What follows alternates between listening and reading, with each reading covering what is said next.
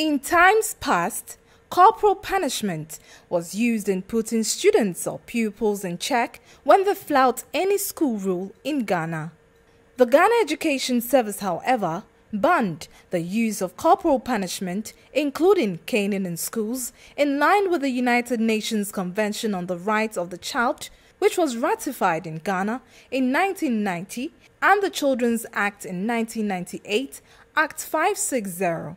The directive was reiterated and emphasized by the service about four years ago, and some teachers and schools were found to have been flouting the rule.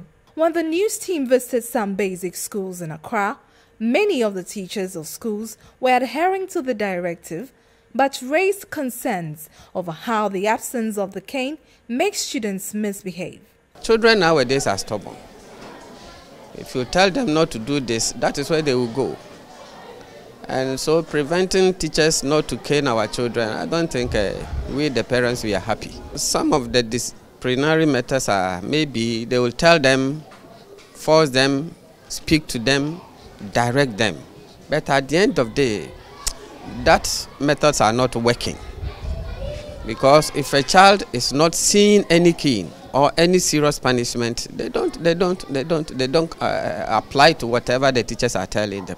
Some were, however, in full support of the ban on corporal punishment, noting that the cane rather does more harm than good, while other disciplinary measures help in putting students in check. Caning the child always, sometimes rather spoils the child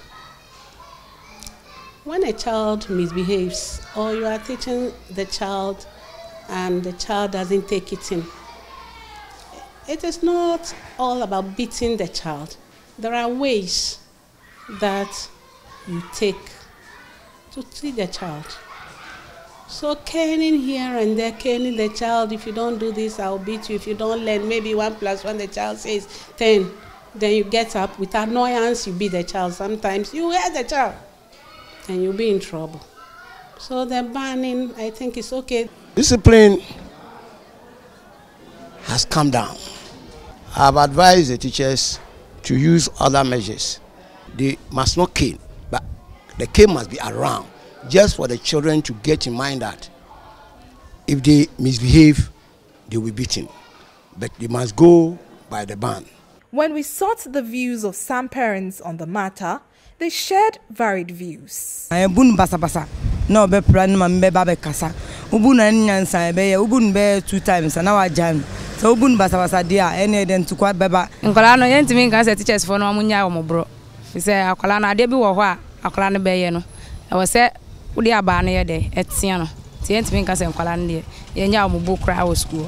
Ɔbi wɔ hanom a ɔmo abɔn, wɔn ambu ɔmo a ɔmo nyansa no ɛyɛ dɛ ɛmma. E nti sɛ nsa ɛɛm ken deɛ sɛ kɔɔ mu because yɛn nyinaa no yɛde abaa na yɛde yɛde yɛde yɛ. The GES, however, insists on schools adhering to the rules on corporal punishment.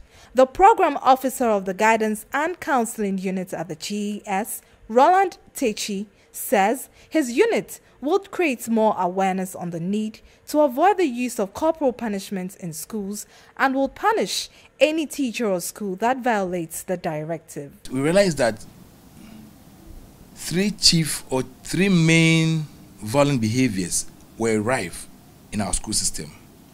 One, corporal punishment, two, sexual harassment, and three, bullying. If we are able to do away with these three violent behaviors in our school system, then our children can have the joy, who feel comfortable and safe to be in school.